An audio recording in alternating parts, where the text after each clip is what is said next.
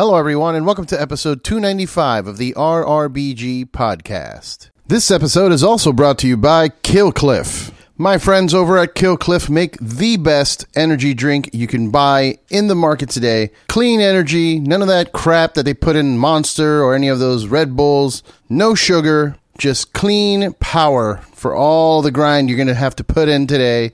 And if you're not grinding today and you just want to relax, they also have CBD drinks to help you recover from any injuries you may have, any kind of inflammation. Maybe you went a little too hard at the gym. CBD drink will get you right back on track. Go to their website, killcliff.com. Check out all their different flavors. My personal favorite Ignite drink is the Cherry Limeade. And in the CBD category, you have to try the Joe Rogan special. It's the Flaming Joe pineapple with jalapeno. It's not that spicy. You just get a little bit of a kick at the end. It's delicious. Go to killcliff.com and tell them that RRBG sent you. This episode is also brought to you by our good friends at Saints Joints. Go to saintsjoints.com to check out all the options that they have. They have these amazing packages with pre roll joints, which will have pre rolls from either side of the strain spectrum, either indica or sativa, and they even have multi strain collections. Pick up one of their amazing Book of Saints. They currently have two volumes, volume two being a special Halloween edition. It looks like the Necronomicon. It's amazing. They're currently available in Washington and Oregon and will soon be available in California. Go to saintsjoints.com and tell them that RRBG sent you. This episode is also brought to you by our friends at Thunderking Coffee. Thunderking provides organic, air roasted coffee straight out of Costa Mesa, California. It's seriously some of the best coffee I've ever had. My personal favorite is the positive morning attitude. I order two pounds of this almost every two weeks because I just can't get enough. But they also have bottled cold brew. They have their special California Christmas peppermint cold brew out right now. You can order it from their website. So go to thunderkingcoffee.com and check it out. Support small, independent businesses, people. In this episode, I talked to the legendary Dennis Lyxzén of Refused and Invasion and Noise Conspiracy and and Venice Casino and Fake Names. Lots of bands. The guy is a prolific musician, political activist. You may have heard Refused's music in the video game Cyberpunk 2077. Or you may have checked out their latest record, War Music. That's a fantastic album. We talked about that. We talked about the shape of punk to come, coming up on their 25th anniversary of that. We talked a lot about politics. We talked about the pandemic. We talked about his love of music. It was a really great conversation, and I hope you guys enjoy it. Make sure to follow him at Dennis Lyxzén on all the social medias. Make sure to pick up the new Invasion record, Let the Night Love You. It's fantastic. Make sure to like and subscribe and hit the little bell. All the little things there that'll help us fight the system together. And if you get a chance, check out our Patreon page. Go to patreon.com slash RRBG and support the show. Cheers.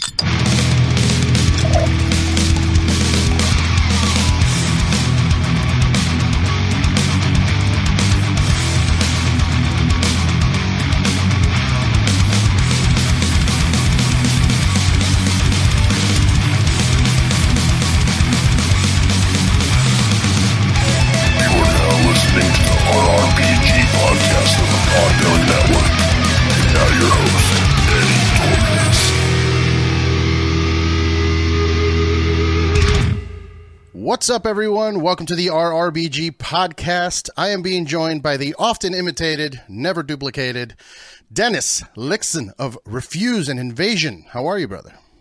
I'm pretty good. How are you, man? I'm all right. I'm uh, feeling better. I actually, you know, due to me not understanding time zones, I actually woke up at one o'clock this morning to do the podcast. Let's do this interview now. No way, it's in 12 hours. Yeah, man. I, uh, you know, I set an alarm. I was like, I guess I have to. It's fine. I've done worse. I've done like 5 a.m. Yeah. for some people in in, in uh, Europe that crazy time zone differences. So I was, you know, I was ready. I was ready for it. I'm glad. I think from our communication, you've been ready for a while. That's true. We've been trying to do this podcast for a long time, so I'm really happy that uh, we're finally doing it. Uh, th- Yes, thank you so for thank you for joining me. Um, first off, let's talk a little bit about Invasion. Uh, I know you guys recently put out an album. Yep. Uh, so tell me a little bit about it. I know you know it's it's been around for a very long time. You know, people may not realize that it's from the '90s almost, right? Well, the band, yeah, I mean, Invasion is. Uh, I mean, we we started as the Lost Patrol band, which played power pop, and then, I mean, Invasions. We've been around for a good. I'd say it's almost 15 years, kind of low key for the first couple of records, and then we've done three records in English. We did two records in Swedish before that. Oh, okay. Uh, and yeah, I mean, it, it's. I would say Refused is is the main band, but Refused is very spotty in when we actually do stuff. We're very, you know, few and far in between. Uh, so Invasion is probably the band that I spend the most time working on, Okay. and um, we just put out a new record in June called "Let the Night Love You," which uh, I think it's a fantastic little record we have. Um, it was recorded before the pandemic, and it was supposed to come out in 2020, but we all know what happened. So it's it is one of those like it's just been sitting, frust you know, bit bit frustrating just to wait for something to come out, and then the record came out. We did a couple of shows, and then our keyboard player, uh, she had a kid, so we had to Ah. take take a little bit of a break. But uh, we're, we're going to start touring. Well, now I guess after the summer, so we're going to start playing shows again. I'm very excited. That's awesome, man. Yeah, I was listening to the album, uh, and and you know, it's listed as post punk, but I feel like they're just throwing that tag on you now wherever, whenever you do something. I guess. I mean, I mean, it definitely when uh, when we started Invasion, it was definitely more of a post punk feel to it. Not sure what the latest record is really. I mean, I don't know. It, it's good Yeah. music. yeah, it feels very you know uh, electronic synth heavy, but almost eighties ish. Yeah, As in- kind of ish. yeah. yeah. So what are, what are your like main influences in that? Like, what do you? I know you, you don't try to copy anyone, but you know, there's obviously certain bands that influenced that style of like '80s. So what, would- what would you say? Um, it's tricky. I think it, it's interesting because Andre, the drummer, is the main songwriter. He writes most of the, the the bulk of the music, and he just listens to new music. He he's basically one of those dudes. I mean, he's uh, he's the he's the guy that has on his arm he has a tattoo that says '80s hardcore. Okay. like a very good tattoo. But I mean, when it when it comes to that type of more uh, synth heavy industrial tinged music, he listens to a lot of new music. Hmm. I don't think. I mean, obviously you have your uh, your uh, 80s post punk like Bauhaus and Depeche Mode and and that kind of stuff. But I, I think his influences are way more with like you know Soft Moon or or just that that type of scene basically. But I mean, you know, it's it's um, it is interesting because the, older you get, the, the the less you care about, you know, what, what you want to sound like. Mm. You know what I mean? Yeah. Because when you're young, it's like you start a band and you go into a practice space and someone says, "This band, we're going to sound like this band." Yeah, and that's kind of how you how you start. And with Invasion, it's like you take a little bit of everything, a little piece here, a little piece there, and then then you try to come up with something that's your own. We we did. I must I must admit, which I didn't think about at all when we were writing the record, but we did get a lot of Depeche Mode comparisons in the reviews for the record, which I was a little bit surprised. But then listening to it, I'm like, eh, maybe not. It it definitely has a little bit of that uh, that feel to it. That it, it is interesting because, um, all right, it makes sense because Depeche Mode were like a synth band hmm that discovered rock music. And then Yeah. they, they did the, the, their their records with like the, the weird crossover between synth and rock. We're definitely the opposite. We're definitely like a rock band that discovers synth music. so maybe maybe it makes sense. I don't know. I guess I, yeah, I guess it makes sense. Yeah, yeah. I mean, I grew up. You know, I listened to a lot of different types of music, uh, a lot of punk music growing up, a lot of you know Latin music, but also a lot of gothy, synthy, industrial type music as well. Um, so Yeah. I mean, I, it's right up my alley, and uh, my wife, is, my wife is into it as well. So she, she's, you know, she's into it. But I, I noticed you guys, you were gone for from 2016. You took a break, I guess, with Invasion. Uh, no, Refused just started touring. Oh, okay, all right. So that that was it. it's like it's one of those like uh, you know like like invasion.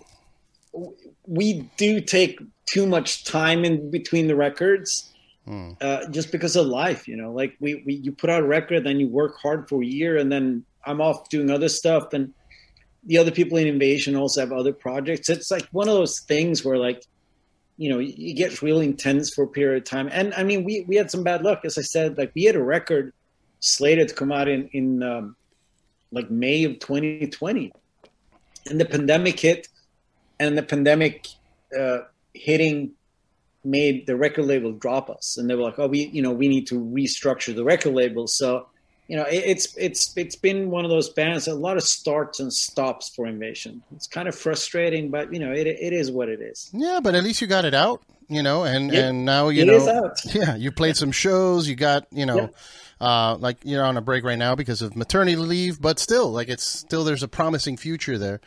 Oh yeah, yeah. I'm super excited. Uh, just playing the new songs live was was a lot of fun, and uh, we're actually doing a TV show in Sweden uh, next weekend. So we're going to be re- restarting the whole campaign. I'm very excited about that. Very cool. Like you mean like a like a late night show where you perform? Yes, Oh, very it's a late night show in Sweden, but the demographics quite old, so it'll be interesting to see to see what that does. But yeah, it's cool. It's cool to kind of restart again uh, after. I mean, Kiki, she had a kid like three weeks ago, so it's kind of. I mean, fucking kudos to her to be like, yeah, I'll come up and play. I'm like, that's rad. So Hell yeah, yeah. fun. I mean, I wouldn't do it. If I know that that's a painful experience. I would be in bed for months. yeah, yeah, yeah. No, so that that's cool. And then we have a we have a European tour lined up, and uh, this fall, and we have some Swedish dates lined up. So it's it's exciting. Yeah, It's interesting that you brought up that you know the older you get, you stop caring about what you sound like. But it's not just that; it's also you know you stop caring about these weird, like e- elite uh, in criticisms that you do with certain genres. Like I, you know, I when I was in my twenties, I was very like rigid into what I was listening to. I'm like, I have to only listen to heavy music, and the heavier the better, you know. And then now in my forties. I'm exploring all these things, and I'm like, oh yeah, I remember listening to that when I was a kid and liking it, and like allowing myself to enjoy more, as opposed to Yeah. just being angry about the type of music it is. You know? yeah. I, I think it's like um, you relax a little bit, and um, I think it's also something to be said about um, uh, the the joy of music. Because I, I I'm with you. Like when the formative years, identity becomes maybe more important than the music. Mm. And also in your formative years, when you are like, like I'm into hardcore, you listen to a lot of bad hardcore because it was hardcore. Yeah. You know, so as you grow older, it doesn't really apply. It doesn't, you know, sure, we all have friends that are like still kind of narrow minded in, in how they approach musical discoveries. But I was one of those people that, that like, when I discovered punk and hardcore, it, it, expanded my mind. I was like, anything's possible. I can listen to anything. Mm. Um, and the older I get, the more relaxed I am about. Because sometimes people ask me, "Oh, what's your guilty pleasure?" I'm like, I have no guilty pleasures. It's all great. If I like it, it's great. It doesn't matter how credible or cool it is. You know, it's just it's just great. So um, it is also interesting revisiting stuff that you thought were kind of lame Mhm. back in the day with that open mind and be like, is this actually lame or was it just a pose from, you know, like, right. yeah, was it just a pose? And then um, you can discover some cool stuff when you're like, oh, wow, this is actually, I get what people were into this. Or, you know, I get what, you know, so I, it's, it's just, music is just, if your mind is open, there's so much great music out there. Absolutely, absolutely. I mean, I've changed so much, even in the recent years. Like I, you know, I used to be very vocal about how much I didn't like Nickelback. I still don't really listen to them, but now instead of talking shit, I'm just like, yeah, well, you know, they're doing it. They're selling millions of records. Let them do it, you know, and people love it, and whatever. I don't care. yeah, I, yeah. I mean, it's interesting because um, I- I think that I get that, and and sometimes I'm like, it kind of makes sense. You know, people can do whatever they want. It's it's fine, but there's something to be said about when. All right, so here's my take on it. I don't know what the, the latest boy band is, whatever you know. Sure.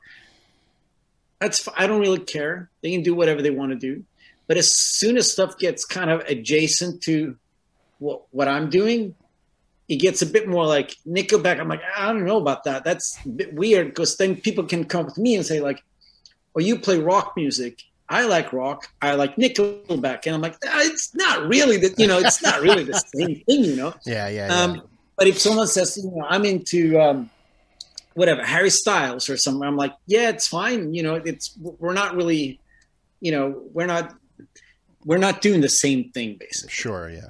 Yeah. Some I think for me, maybe as a musician, some of the bad rock out there, it's it's still a bit touchy.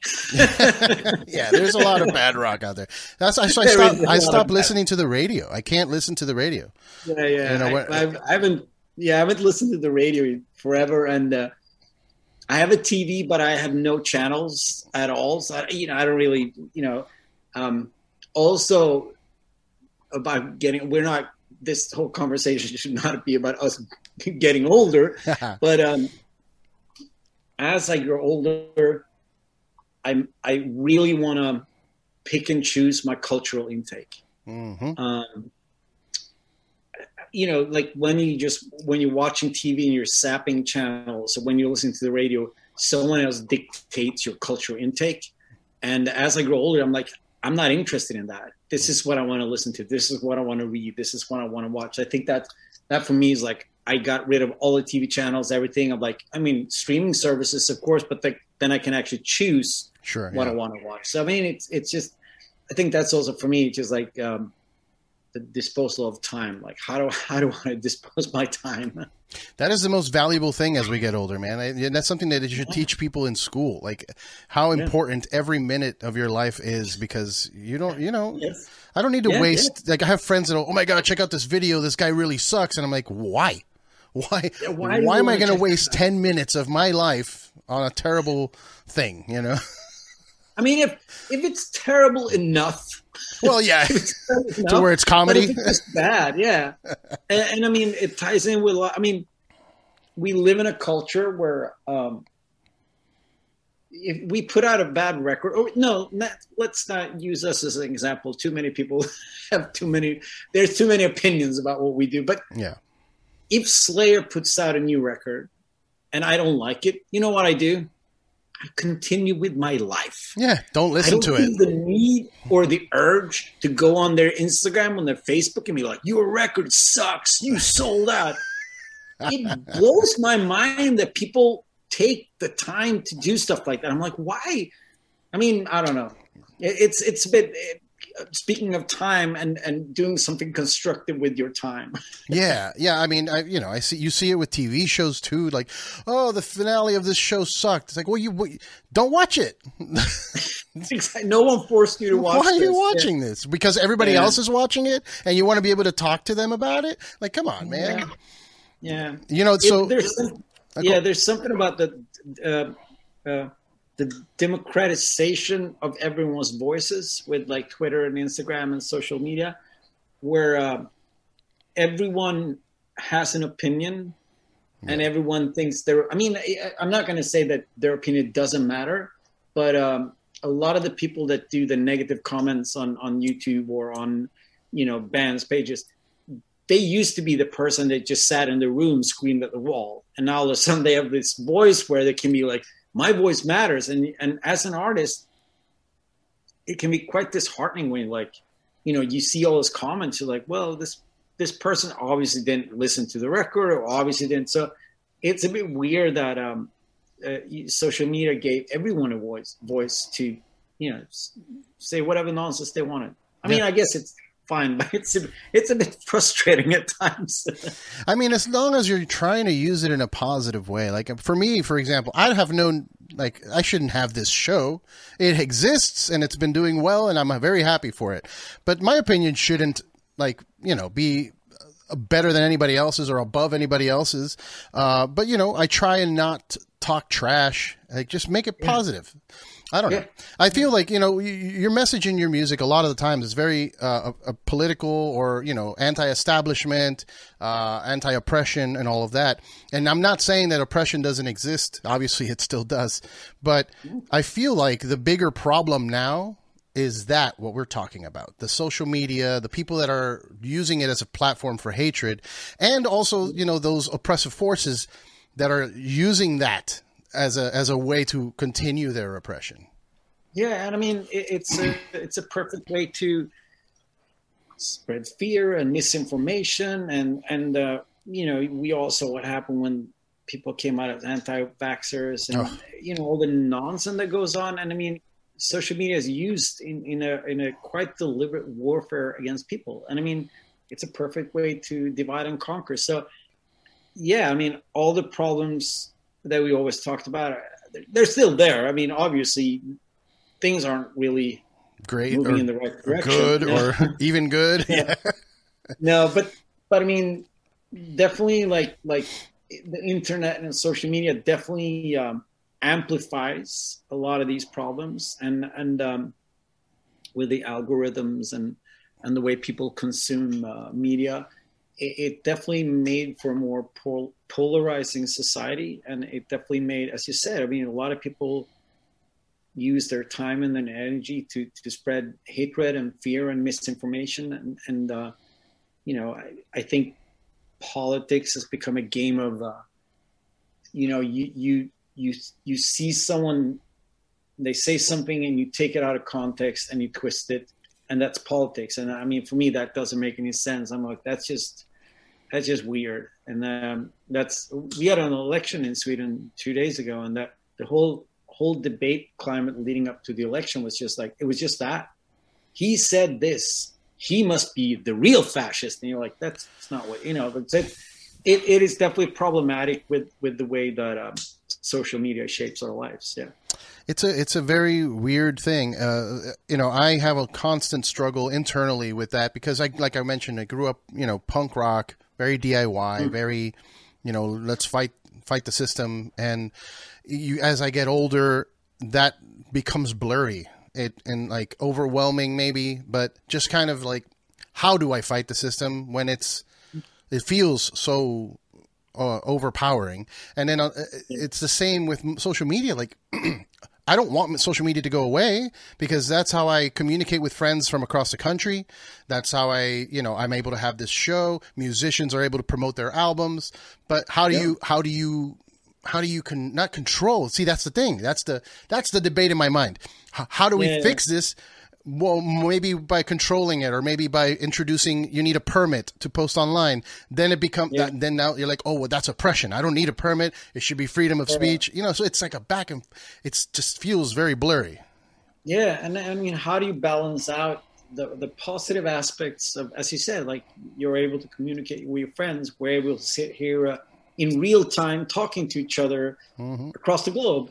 Yeah. Pretty amazing, you know. Yeah. But how do you balance that with with with the everything that goes on that that's definitely not great for us, you know? So, it, I mean, to to be fair, uh, social media, the internet, everything, this this um, information obesity that we have, and everything that goes on, all of this is quite new, and uh, I am hoping that we can balance it out and make make for a climate where um, these things can use be used as constructive tools to to build a better world. Uh, but then maybe, and that's the tricky part. Like maybe you need to adjust some of the ways that we use it, adjust some of the of the parameters for, uh, you know, how to how to how to use it. But Yeah.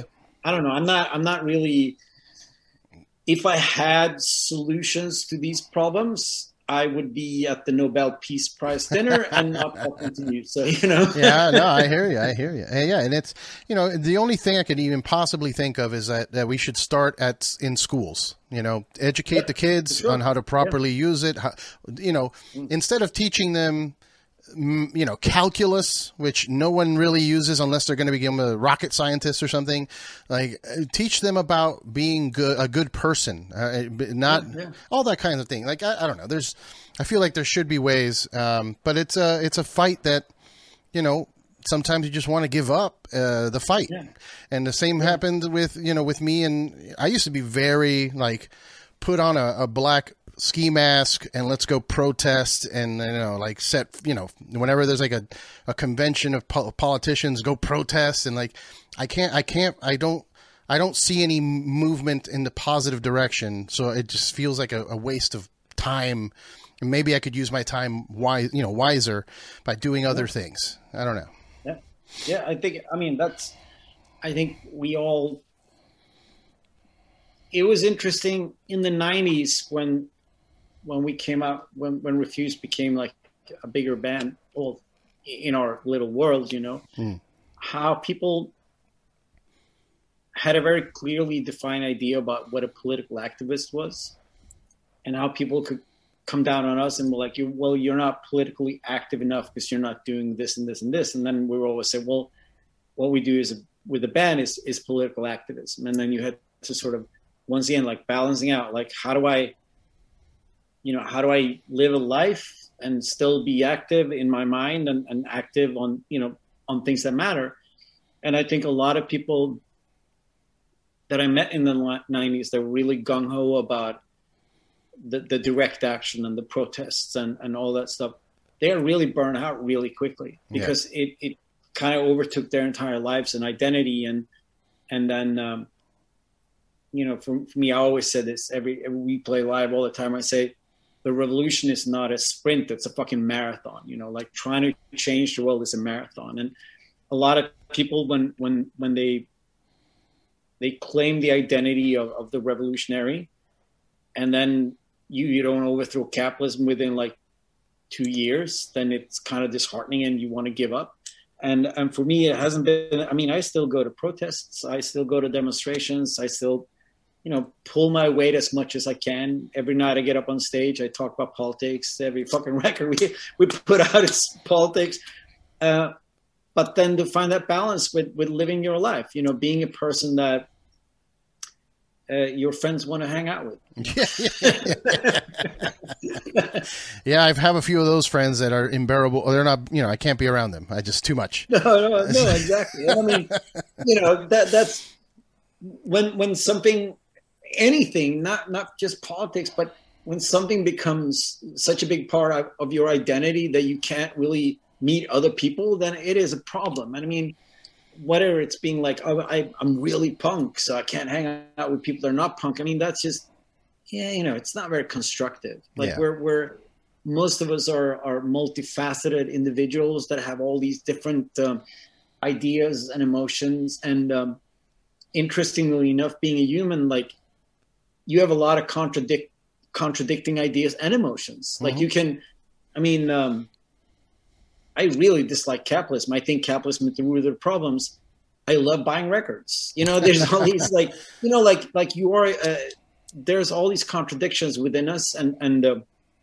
especially living in this world that's quite uh, fragmented and, and, and, and confusing. I mean, that's just a part of being a, a human being. And if you if you if you become too rigid, then you also become quite unbearable. yeah Yeah. And this is something that I've learned from from my, from my own mistakes. well, I was gonna say, you know, like, and, and I'm not putting, I'm not throwing shade, as the kids say. I'm not throwing shade at you in any way, but like that, that contradictory behavior, like you mentioned, it's one of the reasons I like, I, I love what you do. Um, but you know, you think about your earlier days, very, you know, gung ho against uh, establishments and, and corporations and, and all of that. But then we see you. Uh, putting out a record with a big video game company, uh, that kind of, you know, yeah, I mean, it's great. I love Cyberpunk. It was an amazing game. Uh, I know that a lot of people didn't think so. I loved every minute of it. Uh, but you know, that's something that you think about. Like, oh, well, is that selling out? Like, did they sell out? What's going on? Like, it's a weird, you know, contradictory thing.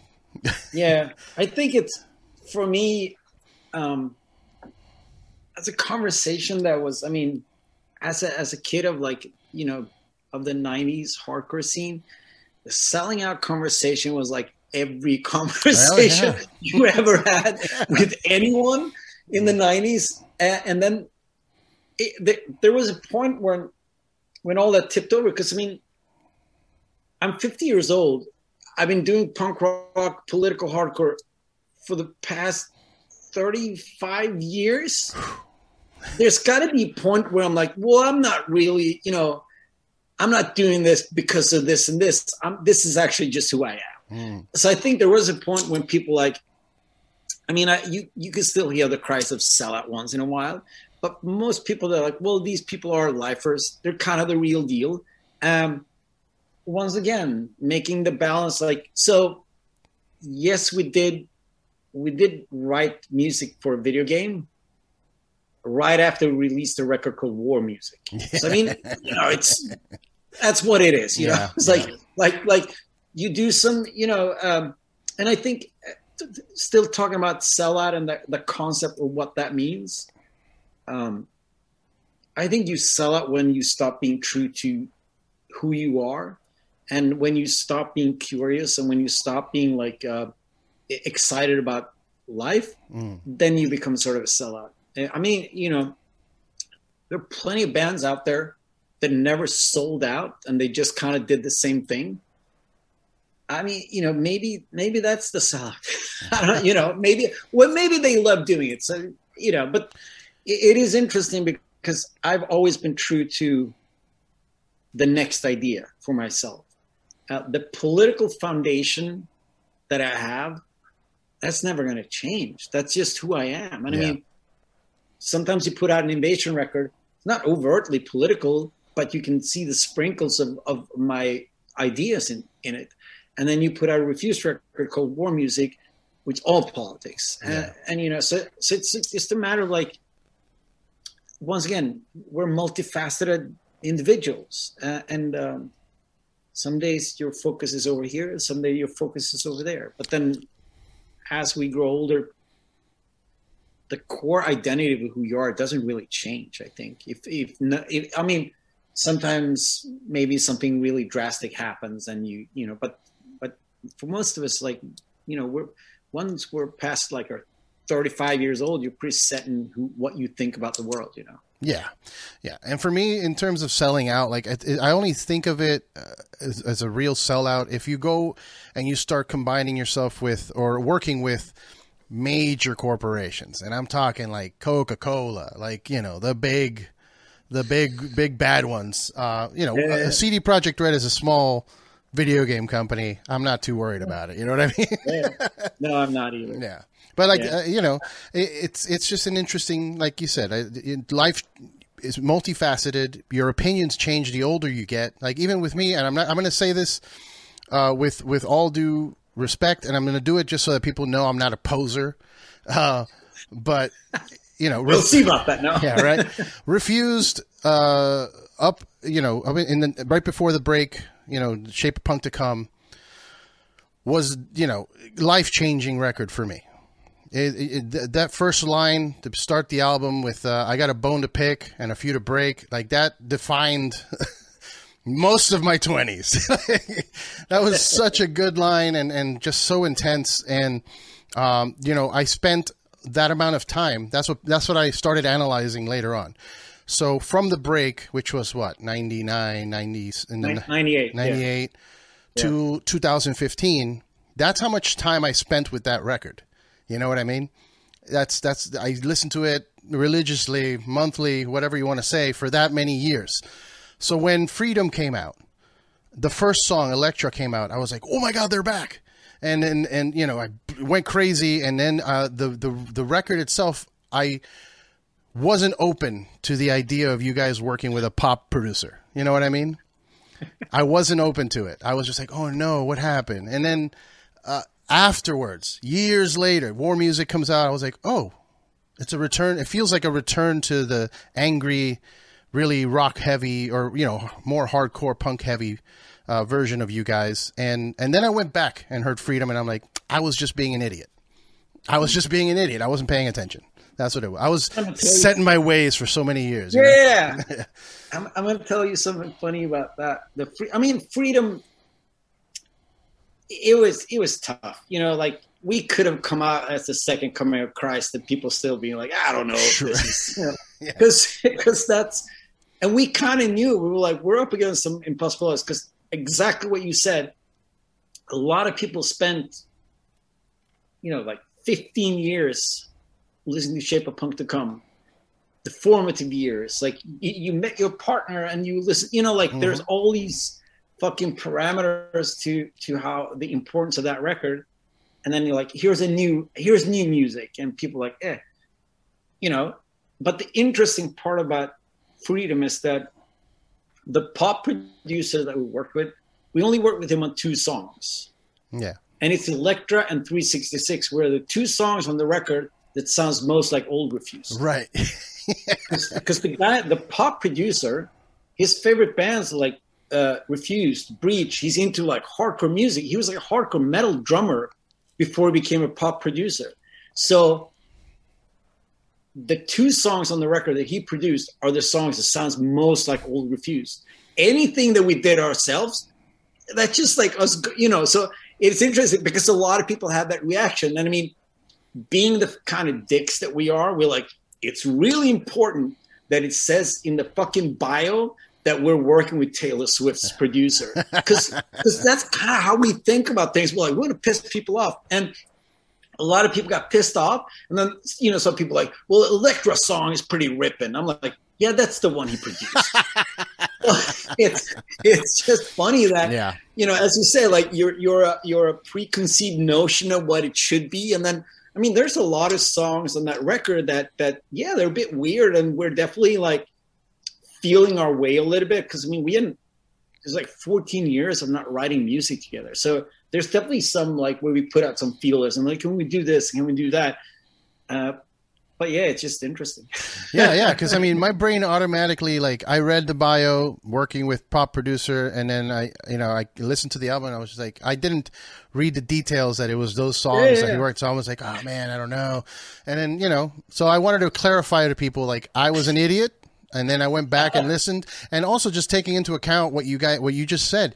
There's nothing more punk rock than that. Like getting getting a producer that's worked Taylor Swift or Britney Spears and Yeah. and making them do a you know Refused record. It just Yeah, yeah. that's incredibly like fuck you in the face. You know what I mean?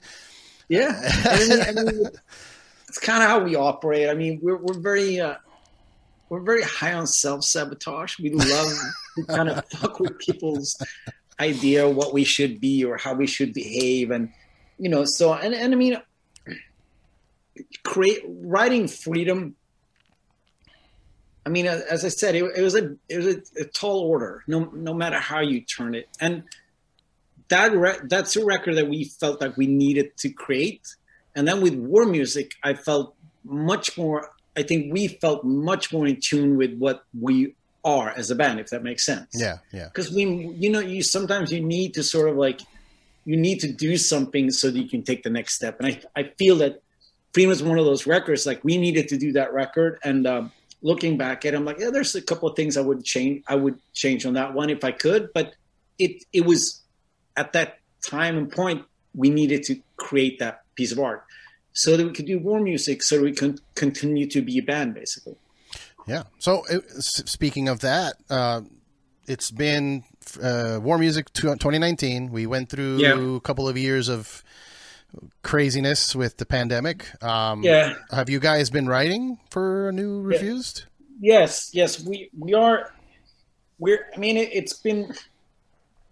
We. War music came out in 2019, and um, people liked it. Um, and we started touring, and the touring went really well. Uh, but we only did. I mean, obviously for obvious reason, we only did a little bit of touring, Mhm.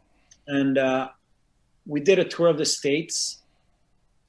I mean, we did a tour of the states. I flew home from LA the day they shut down the airports. Wow. It was wild. I, I landed in Umeå, and the next day I was supposed to uh, I was supposed to do like a like a thing at the a book fair in town, and that got shut down. And when I landed in, in Sweden, they're like, "Well, they shut down all the airports in the states. Like, this is actually happening for real. So during that US tour, it's interesting because we played we played seven new songs in the set and people really liked it. The reviews were great, people loved the show. So we felt like give this record some time and momentum. Uh, we were thinking like by the, the fall of 2020, when we come back to the States to maybe do Riot Fest, you know, all those things, people would love this record.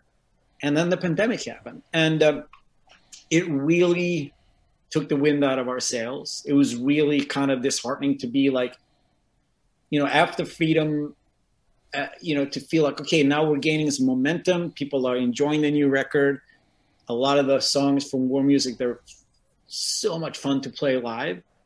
And then to have that taken away, I mean, we're, I mean, you know, everybody got fucking Yeah. knocked down by the pandemic, but it took us a long time to sort of get our bearings right because yeah, it was quite quite disheartening. They were like, all right, so what do we do now? Like, you know, and because obviously then with the pandemic, the record didn't really go anywhere.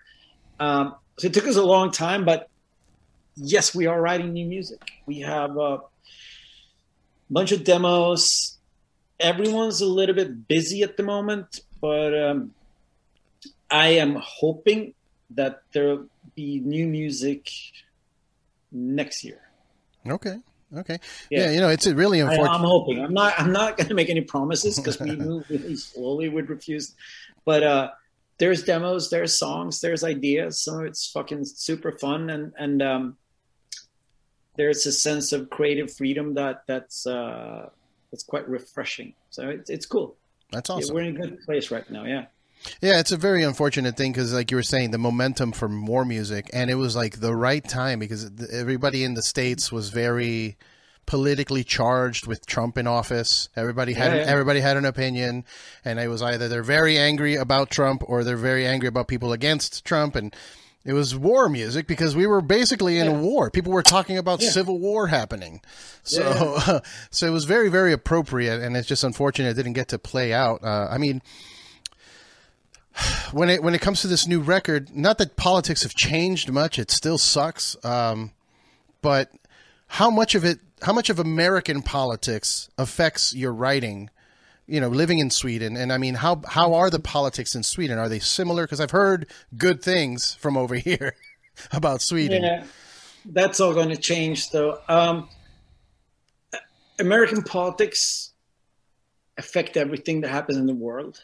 So, whenever there's some nonsense going on, on over in the states, it, it affects us. I mean, because you know, because of the country that America is, and uh, also being someone that I have so many friends in the states. I mean, I've toured the states more times than I can count you obviously keep your your antenna out and be like, okay, what's going on now? And um, they, they, I mean, the good thing from European perspective is that it, not much is going on in the states right now. I guess that's kind of, I mean, it's better than Trump, where it's like every week you're like, but this has to be like the low point of politics, and then next week like, oh no, no, there's no bottom to this madness. So I mean, I guess that's a that's a good thing, but yeah, it affect, it affects how you write because uh, a lot of the ideas that we talk about they are international. They're they're they're, they're applicable for the entire world. I mean, if you talk about economic and political social structures, it's not just Sweden. It's it's the entire world, and stuff that happens in Sweden or in Europe is affected by what happens in the states and vice versa. You know, so I mean, it, it does. But I, I must say, I didn't really want to talk about it because it's insanely depressing. But we had an election two days ago, and um, we have a bunch of political parties in Sweden. We don't have like the states where you have two opposing sides. Yeah, But red versus blue. what happened the last couple of elections is that the right wing people kind of formed alliances, and then the left left wing. There are no real left wing people, but that's a whole nother conversation. But the le- leftist leaning has formed alliances. So there's two basically two two blocks of people, and uh, the last election, uh, a party called the Swedish Democrats got somewhere between 20 and 20, 25% of the votes. They were started in the 80s by Nazis. Oof. And they're the second biggest party in Sweden right now. And um, their whole political agenda is just like no immigrants, get rid of immigration. People need to return to their home countries. They talk a lot about uh, eth- ethnicity and um, they hate culture, they hate music, they hate arts. They're fucking horrible, and they're the second biggest political party in Sweden. And the right wing uh, alliance won the election. Oof. So there's going to be some real changes in Sweden, and um, if you are a person of color, there's going to be some trouble.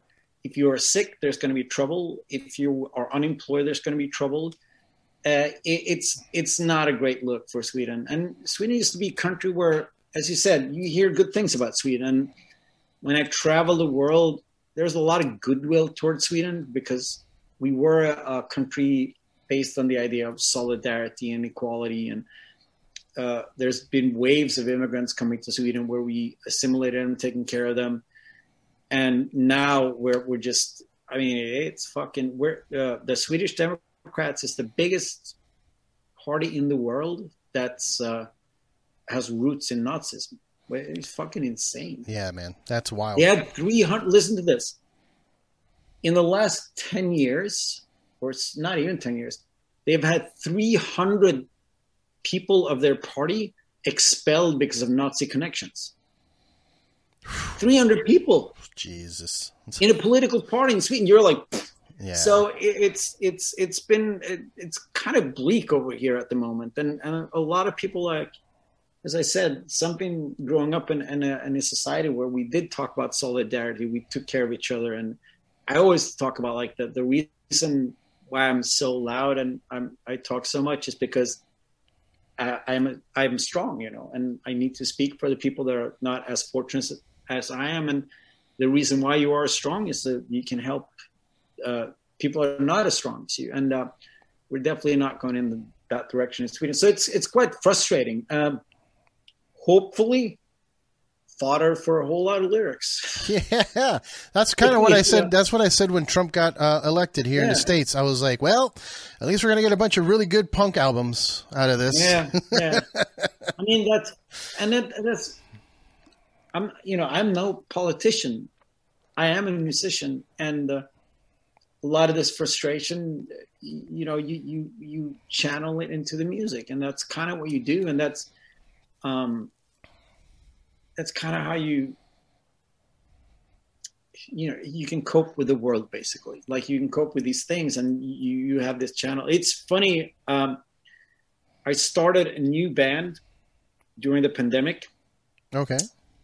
Uh, it's like a punk band where I I, I play guitar and uh, Sara from INVSN and uh, the Doughnuts and uh, International Noise Conspiracy she sings and plays bass. Mm. And it was right when the pandemic was happening. It was a Black Lives Matter protest. I think I wrote 30 songs in like three months because it's so easy. It's just like every day I'm like, oh, that's a song just waiting to be written. Uh, and I'm hoping that that might be the only positive outcome of this election. Jeez. Is write that- some songs. Do you feel that uh, you would leave Sweden if uh, things got really dark? No, I think that I think what we need is is uh, for people to actually stay here and, and you know Fight. fucking fight the they take the fight you know and and I think it is interesting because I mean I never left the small town where I grew up in because I feel the same way about like if you want a, a, a- a scene or or a art movement or culture people actually need to be there for that and Yeah. not just move to Stockholm or New York or whatever so I, I, feel uh, somewhat of a responsibility to to be engaged in in uh, where I live, and I mean, me and my partner actually talked about just yesterday after the election. We're like, maybe we should actually get politically uh, active for real, not just talk about it on social media or in songs, but actually get political activate uh, active because maybe that's what it takes, you know. Yeah. So we'll see. Well, hopefully it's not as bad as it seems. I mean, it's always it's bad. It's not a good look. It is bad. Uh, uh, you know, we'll see. I mean, it, it's it's still early days, but I mean, uh, the, the Sweden Democrats. I mean, they they've been. It's interesting because all the other right wing parties has said for years that they're not going to cooperate with the Swedish Democrats. and then a year ago they just did a full 180 and they were like well we're just going to embrace them and you know they're going to be part of our alliance. Everyone's like yeah that's not going to work out great. So actually the biggest right-wing party got usurped by the swedish democrats. I mean they lost a lot of voters and the swedish democrats they just gained a lot of voters. I'm like yeah good you know. So we'll see what happens. I think um, there's going to be trouble when they try to form a government because uh, the, the Swedish Democrats like the second biggest party, and I think they want posts. Mm. But the other parties said, "Well, we want to form an alliance with them, but we, we don't want to give them posts." So it's it's gonna I don't know. It it, it might get messy. Oh man, we'll, well see. I, yeah. I hope it doesn't. I hope it doesn't. I mean, I, I we I I got to a point when Trump was in office that I thought there was no recovery. And it's yeah. not that we have recovered; it's still pretty weird over here. But um, yeah and there's still the looming maybe in the next election he comes back. So, but we made it kind of through yeah. Trump. Yeah. Um, so I, I have hope that that you guys will make it through this, even though it's a terrible I, I hope so. association. I hope so, yeah, it, it, yeah, it, it is like I, I take some solace in that. I'm like talking to my partner. I'm like, well, I mean, all my friends in the states couldn't believe when Trump got elected, and I mean, they made it through. Like you know, so so hopefully hopefully we can make it through this one as well. Yeah, man. I've told the story before on the show. I was at a Daughters, you know the band Daughters? Yeah, yeah. I went I was at a Daughters show when uh when Trump got elected. The night he got elected. And everybody in the room, you could just feel it like a everybody, oh no. like uh, I left. I didn't. I watched two songs and I left because I was depressed and also I was kind of concerned because I started feeling this. I don't know if you've ever been in a room where something is about to happen or like a. Yeah, like yeah. A, it felt like something Tensions was about. Yeah. Mount, you know, yeah, yeah. I felt it in the air. I'm like, I don't want to get shot out here. This is gonna get crazy. I'm going home. uh, but you know, it, like I said, we made it past that. So let's talk about something a little bit more chipper, a little more, a little happier. Um, the, the, shape of punk to come is about to turn 25. Yeah. Do you have any big plans? Uh, you know, perhaps a anniversary show tour thing uh, that seems to be a popular thing for people. Uh, the or a repress of the vinyl, anything like that.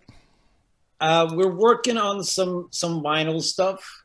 Okay. Uh, we'll see. I mean, it's one of those deals where it's like because we just did the songs to fan the flames mm. 25 year anniversary with like a ton of cool demos and unreleased tracks there's not a whole lot of stuff around shape that we didn't release mm. but uh, there's a bunch of stuff that we i mean so we're working on on something i don't think there'll be shows but i'm not sure i can't rule it out but it just feels like what it feels I think it would feel like what we did in 2012. Right. You know, because so, but we'll see. I'm not. I'm not ruling anything out. It is. It is quite wild that it's turning 25 uh, next year, and we're going to do something to celebrate it. I, am not really sure what yet, though. So you should do one show in LA for me personally. Yeah, I'm just um, yeah, no, that's that. You know, I was going to say, you know, what they should, what maybe I don't know if you have access to this stuff, but one thing that was really impactful for me in 2015 when you guys did, I think it was 2015, Coachella, when you guys did your big, was it Coachella? Oh, that was 2012. 2012, yeah, 2012. 2012. Yeah, yeah. When you did your big Coachella comeback, uh, that show was incredible. Like the audience was really into it. The performance was amazing, and I can't find it on, online anywhere. Oh, I when I YouTube it, I, yeah, they filmed it yeah. professionally. I watched the live stream. It was great, yeah. but then I can't find it. Uh, what I have is a lot of cell phone footage. So, yeah, that one. Too. So if you guys yeah, can I mean, get that footage and put it in a DVD or something, that would be a good thing to add to the. That's that's not a bad idea. Just, I have to I have to see and check because I mean I know I have a lot of friends back home in Sweden that watch the live stream and we got a lot of happy text after that show. So yeah, that would definitely be something that we should uh, look into. Yeah. Yeah. How was, how was the uh, how did you feel, you know, considering your last show was in front of like 50 people and the cops yep. broke it up and everything. What was it like for you going on that stage in 2012 on Coachella and having that visceral like mass crowd kind of blow up in your face? I mean, for me, it was fine. I, I mean, Noise Conspiracy played Coachella twice. Mhm. Um, we did do a lot of big festivals, and I mean, um, Noise Conspiracy was much, much, much bigger than Refused ever was in the '90s. Yeah. So I mean, I was, but for the rest of the guys, I think it was quite terrifying. I mean, none of them, um, none of them. I mean, David did like a solo record, a couple solo records, then he played guitar and sang in front of like hundred people, you know. But the other guys, they hadn't really played live since we broke up. oh wow. So I think for them, I mean, I was obviously very nervous, but it wasn't as nerve wracking as it was for the other guys because I had played on big stages. I played, I mean, Noise Conspiracy played the main stage at Coachella whenever that was. I mean, it was super early in the middle of the day, but you know, we, we were at the main stage. And so I've done that trip. Um, but yeah, I was I was a bit nervous. I think the other guys were terrified. Well, uh, we're getting, we're getting close to an hour, so I want to ask you a couple like random, just to get to know you questions a little bit. All right. Um, so when you hit a new city on tour, what's what's what do you do when you get there after sound check, after load in? Do you go out into the city? Do you get food? Do you look at records? Like what do you what do you what's your favorite thing to do? Like you just said, my favorite thing: get food and records. Food and records. I have uh, I have two apps on my phone that I use. It's Happy Cow, which is like the vegan uh, food. The, how do you find vegan food in this city? Mm, okay. And then there's a there's an app called the Vinyl District, which is like the a vinyl uh, record, like where the record stores basically. So I, that's what I do. And if if there's time, I'll I'll try to hit up a museum or something. But yeah, vegan food, record stores, maybe some vegan food, uh, maybe a museum. Yeah. Okay. How, how many records do you have in your collection? Do you have it? Do you have it categorized? Do you have a list? Yep, I have a I have twelve thousand five hundred records. Ah, you could tell that uh, Sweden doesn't get a lot of natural disasters, huh? Yeah, I mean this is my record room. You can't. I mean there's there's records everywhere in this room, but yeah, Yeah, I'm at about 500, which is like nothing compared to your collection, and I'm worried. still a collection. It's still a collection. Yeah, 500 is not a, not it's not nothing, and uh, No, it's not nothing at all. I mean, I have to say, um, I have a bit of a problem, and uh, the amount of records I have. I mean, if people have anything over 200 records, that's a collection. Mhm. I went a little bit overboard with things, you know. yeah. I mean, my concern, mostly living in Los Angeles, is like, what do I do if there's a big earthquake? You know, which records do I grab? I feel like I should have a box with like my most prized possessions that I could just grab Yes. and run away Yeah. with. Uh, but yeah, that, that's oh, and that, and also just move if I ever move because I'm not, you know, I don't, I move around too much. I'm like, how are you going to move twelve thousand records? I mean, Those those movers are going to hate you. House. we moved to this house. Um, it's coming up in two years now. Yeah, it was horrible. Oh no. It was horrible. yeah. Yeah. but no, so so okay. I was lucky enough that we we got the keys to the house the first of November, That's my birthday. then we did a lot of a lot of remodeling. So every day for all of November, I, I brought like like bags of records every day. So every day I moved a little bit for a Mm. month. So that's how I did it. For a month I moved like I filled the car with records every every day for a month. Wow. That sounds crazy. Yeah. That sounds too like too much. Yeah, I'm trying to limit myself now. Like, all right, I'm gonna pick my favorite bands, and I'm gonna have every album from those bands. But like now, if it's a band I don't know and somebody just gives it to me, I'll give it to somebody else. Like I'm trying to control it, but it's it's hard. It's hard. It's so hard. Uh, I, have, I have too many favorite bands. So, speaking of bands, do you have any new bands that you're listening to regularly? yeah, I mean, I listen to a lot of new music. I'm, I'm very much. Uh, I think that if people come out and say, "Oh, there's no good music being made today," that then they don't listen to music. Yeah, they're not listening. There's so much good music coming out. Um, I mean, there's a, there's a lot of good hardcore out there. There's a lot of good like indie post punk stuff, and just you know, I don't know. I, I listen to a lot of new music. Okay. Okay. So no Yeah. no bands stick out that are like your favorites right now that are like constant rotation? Um, I listened to a, a Turkish psychedelic band called Altin Gun. That's fucking. That's one of those that keep returning to that record. Uh, I really love Turnstile. I'm just Oh. gonna put it out there. Fucking amazing band. So good. Uh, Swedish band Viagra Boys. I listen to them a lot. Uh, let's see what else I got going that that that's new. Um, there's an artist called Lingua Ignota that I think Oh, is fabulous. Uh, she makes me sad, know. so I can't listen to, to it too much. I feel every time I listen to the album, I get really depressed. So I'm like, all right, Yeah, but I like that. I like that emotion. So yeah, yeah. no, it's a good feel. I, you know, I have those types of days where I'm like, I need to hear that. Uh, but Yeah. you know, And what what else? Uh, what's that? Chubby and the Gang. It's pretty great. Okay. From the UK, like punk hardcore. I mean, there's a lot of good music out there, and I mean, I'm one of those dudes that that just um, every day I want to discover new music. Every day I want to hear a record that I haven't heard before. I mean, a lot of it's old, but it's stuff that I haven't heard before. So I'm I'm just like, uh, yeah, all the time, just trying to find music. all right, I guess I'll have to send you my uh, my band's old record from uh, 2000 and I don't even know 12. I think is the last album we put out. Do it. I'll put that out for you. If it's, if it's on vinyl, I'll, it, it'll, I'll put it in the. I listen to it. I put it in the collection. It's fucking great. Awesome, man. Um, I just saw news that the the team behind Cyberpunk is going to keep doing stuff. Um, are you guys going to continue your relationship with them? Uh, if they're going to do more movies, or if they do anime or more games, like is that something you're wanting to do?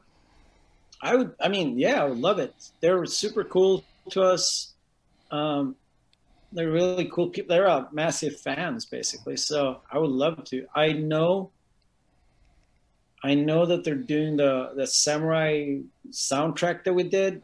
I think it's gonna get a vinyl release. Nice. finally, which is kind of cool because it's like it's like not a new Refused record, but it's like kind of close. Technically, yeah, technically, you know. Yeah.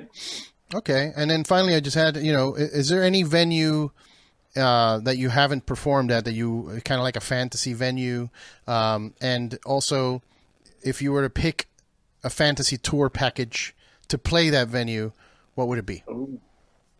Wow, that is a diff- difficult question.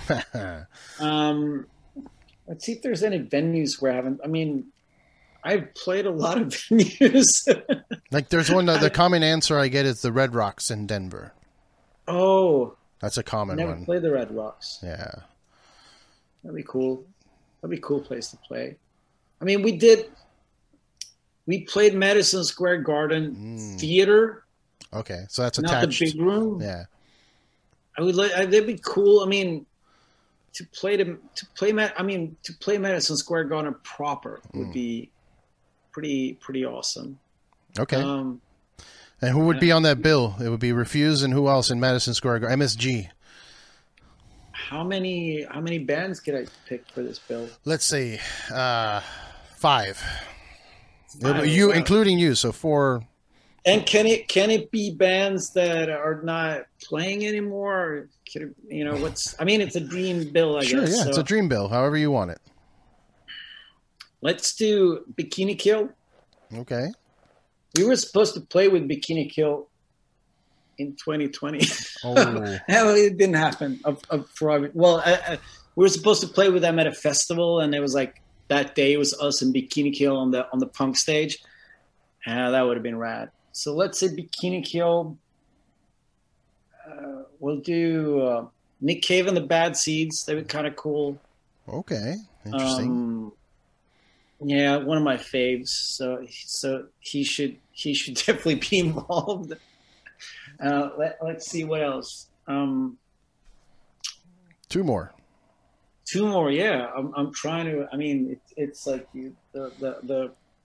I would I would Voivod. I would have Voivod playing just because I love Voivod. I, I don't think they get the recognition that they deserve. Fucking Voivod. They've done some. They've done some big tours here before the pandemic. I mean, they were here Yeah. with uh, I, for, I forget who else there were. There, there, there were some big tours here though. But- Yeah, I mean, they're, the last two records are great. Yeah. Some Voivod. Oh, you know what? What's let's just. I mean, they play Misfits. Let's do Misfits as well. Yeah, they're still playing. Misfits, Nick Cave, Voivod, Bikini Kill Refused. That's a good show. That's a good show. I'll pay money to see that at Madison Square Garden. I mean, I mean, the Misfits already play Madison Square Garden, so you know Yeah. Yeah, that could be your foot in the door to get in there. exactly. That'd be perfect. Well, Dennis, thank you so much. Uh, I'm, I'm, uh, it's a real honor to talk to you. Like I said, I spent uh, 15 years, however long it was, jamming the same album. That's you know, that's not something that I've done with any other band, really. Um, uh, so huge influence on on myself and, and my friends, and uh, you know, I'm, I'm I'm really glad to see that you're still going. You're still making new Refused music, and and you're still cranking it out, even after such a crazy, you know, couple of years of pandemic that most people Yeah. would have given up, but you're you're still going, and I'm I'm happy for it. Um, where do people can where can people find all, all they need to find about you online? Uh, just you on Instagram is that the best option? Yeah, I mean, my Instagram is not super exciting, but I'm pretty good at updating about my um, my all my different projects. I have so I'm I'm going to do a little bit of blatant self promotion. No, here, please, But, uh, yes. the INVSN record that came out is fucking fabulous. Probably my, one of my favorite records I've put out. And then next year, there's a new Fake Names record coming Oh, okay, great. Which is oh so good, so good. And then uh, my punk band where I play guitar, we have a record coming out next year as well. Okay, and what's that? one? Venice Casino. Venice Casino. Venice is the town where I live Okay, in the north of Sweden. Yeah, Venice Casino. all right, all it's right. pretty kick ass. Um, and then yeah, so I'm I'm just trying to stay busy, you know, try to work on on new music, and then uh, somewhere on the horizon there's new Refused music coming as well. Yeah, But I mean, both the fake names and the Venice Casino record, they're done, recorded, done, everything's done. So just, you know, trying to get, get them out to the world. And I hope that we're going to do some touring with fake names next spring. that would be very cool. I would like to see That i would be very, very cool. Very excited to do that. So, yeah. Cool. Well, make sure you guys, uh, you're watching and listening. Follow Dennis on social media so you can keep track of all these projects. Uh, I'll definitely be blasting out uh, whenever Venice Casino comes out and, and the new fake name stuff. I'll be blasting it on social media. Um, yeah, thanks again, man. I really appreciate it. I'm so glad we finally did this, and hopefully Yes, it's it- not the last time. Hopefully we can do it again. No, it's, it's been, it's been a long time coming and I'm glad we finally, finally made this happen. Excellent, man. Well, thank you so much, and uh, stay in touch. Don't get lost. Cheers. Thanks.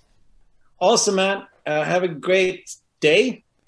Oh yeah. and I'm gonna have a great evening. It's eleven o'clock over here, so I'm gonna. yeah, yeah. It's two o'clock here. I'm gonna go have lunch. Awesome. well, have a good one. Have I'll good talk night. to you soon, man. Take care.